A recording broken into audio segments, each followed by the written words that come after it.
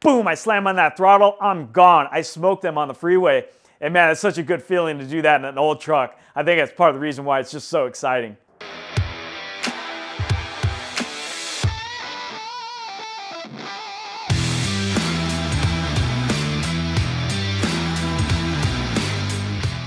Well, hello my friends, Kevin here, and thanks for watching this video in our bottom line series, where we focus on everything about custom lower trucks.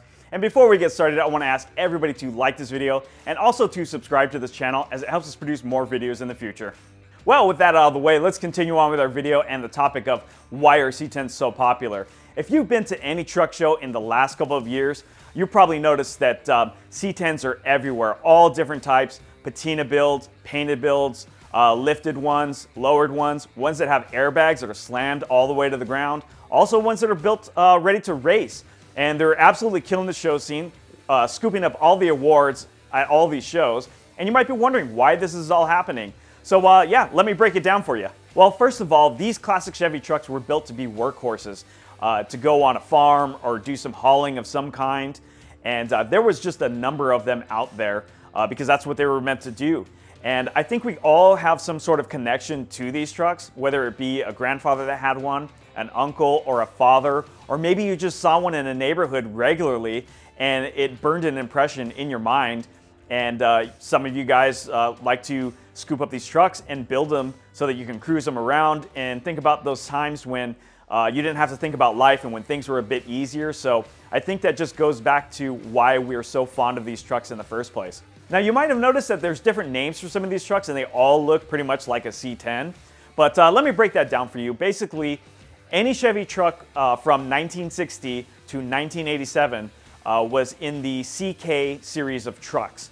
Now what that means is um, for the two-wheel drives they were C, uh, C series and the four-wheel drives they were the K series. So that breaks that down for you. I hope that explains it a little bit. So uh, when you get into C10, what that means is that's a two-wheel drive half ton, and then you get your C20, that's a three-quarter ton, a C30, that's a one ton. Same thing with the four-wheel drives, a K10's a half ton, a K20 is a three-quarter ton, and a K30 is a one ton. So hope that explains that all for you. Now let's get a little more specific on some of these trucks. There are a couple generations of them, uh, starting with the uh, first gen, which was the 1960 to 66 truck. Now, this truck was revolutionary as um, the previous body style, the uh, Task Force trucks that ended in 1959, had a straight axle. Now, from 1966 on up, uh, they had an independent front uh, suspension system, which made it easier to drive these trucks. So that's why um, people started using them on a regular basis because uh, the ride was a bit more comfortable. And that uh, first gen C10 fit right in with that. And uh, that's where some of the popularity grew from. And uh, I can tell you that for a long time, those trucks were kind of like the ugly stepchild of everything because uh, their body lines were a little bolder and um, people didn't like them as much. They kind of called them a refrigerator, but they can be cleaned up. They're personally my favorite because the body style is so distinctive. Uh, it's different from everything else, and they can look really good. Chevy trucks built between the years of 1967 and 1972 are known as the second generation of CK trucks, and these are by far the most popular versions of classic Chevy trucks out there right now. Uh, so many people like them. It's hard to find them at decent prices and trucks that aren't rusted through. It's just, it's absolutely hard to find these trucks. But the reason for their popularity, I think, is because they had some of the uh, technology from the first generation in them, but the body style just looks slick. When you build these things out, uh, they look like a truck that's later uh, than something that was built in the late 60s. So it's a no-brainer to see why people like them. Uh, but yeah, like I said, finding one that's a good project that uh, has a decent price, isn't uh, damaged too bad, is pretty tough these days. Now, let's not forget the trucks that were built from 1973 to 1987. Uh, these are the third gen CK trucks, better known as the square bodies. Uh, because they have a square body with rounded edges, these things are very popular. Uh, now they're also a little bit more attainable as they were available for quite a number of years, so there's a lot of them out there. But yeah, it's still kind of hard to find one of these trucks in good condition.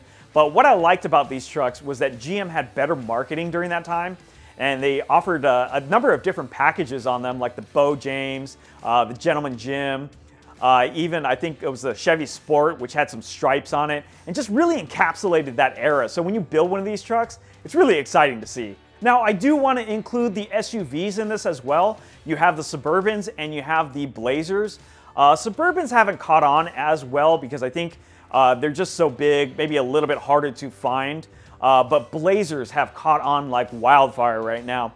Uh, absolutely crazy. The reason is, is because a lot of people that have money that want to have something that's maybe like a street rod or something to that level, uh, they can do so and justify it because they can uh, fit their family in there. So they have an award-winning truck that they can cruise around, fit the family in, uh, don't have to worry about you know everybody you know not getting a ride, and it just kind of makes sense. So uh, yeah, there's a lot of popularity with those these days.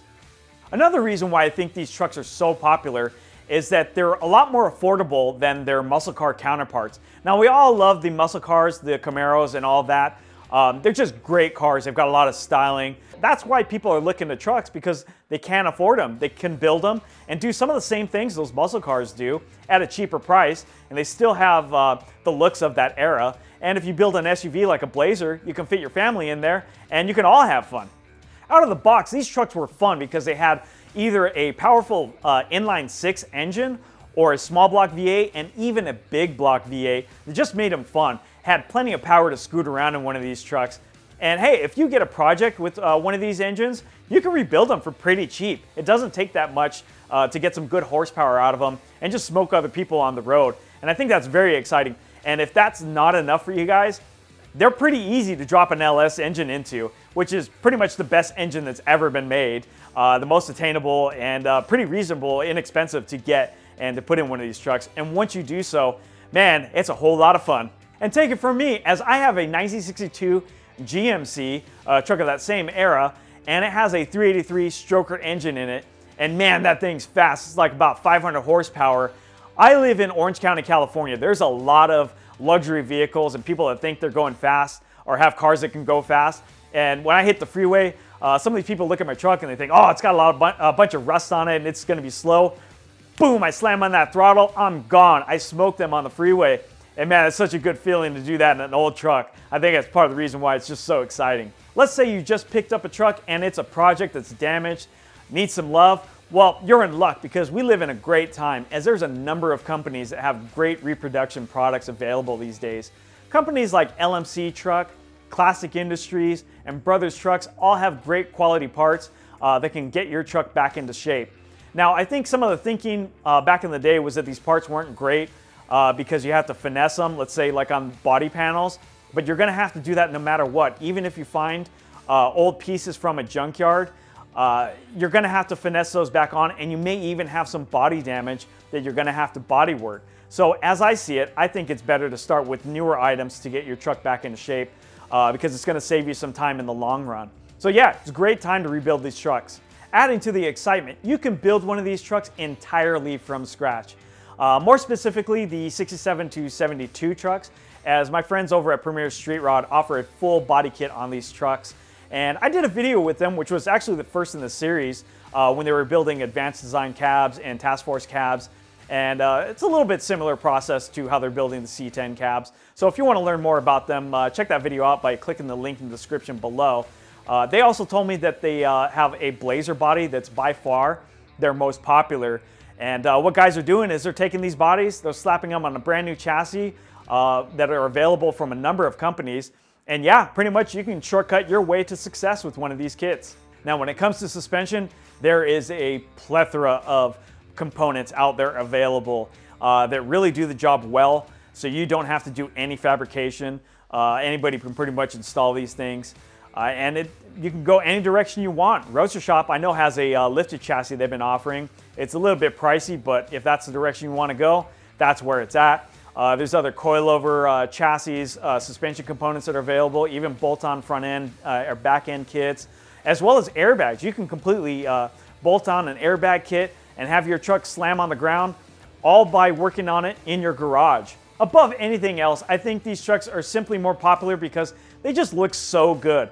Their uh, styling is unlike anything that's made these days. And I tell you, driving one on the road is just a feeling I can't describe. Uh, it's just so amazing to have something that's decades old, keeping up with everything on the road and catching attention. On top of that, I think these trucks are a solid investment as the prices are rising with time. Now, I know a number of years ago when the trucks uh, started to gain popularity, a lot of people thought maybe uh, they were at a plateau, maybe the values were going to go down, but they haven't. If you've seen some of the auctions lately, prices are going up, and it's not unusual to see some of these C10s go for hundreds of thousands of dollars. Now, do mind you, uh, they have put a lot of money in them, but I know that some of these guys have profited. Like my buddy Dan over at Hogan Built, he had a Blazer he built for uh, Travis Barker, the drummer of Blink-182, and he ended up auctioning the uh, Blazer off at Barrett Jackson and got a whopping $400,000 for this thing. Now that's absolutely incredible and it was not a one-time wonder as he did the same thing in 2023. He got 400,000 for another Blazer. So it's easy to see uh, that there is some money in there and it's great to see that as well. And that uh, if you put the right products, have the right styling on these trucks, uh, they really are an investment. If you're into things like baseball and apple pie, chances are you're into C10 trucks just like the rest of us. But where do we go from here? I don't know. I think the sky's the limit as there's a lot of interest in these trucks and it doesn't seem like it's backing down. So if you can get your hands on one, I suggest you do so now. Well, my friends, that just about does it for this video and it's time for me to sign off. As always, please like this video as it helps us produce more in the future. And if you have anything to say, please drop that stuff in the comments section below. Also, make sure to subscribe to this channel so you don't miss a future video and we will catch you next time.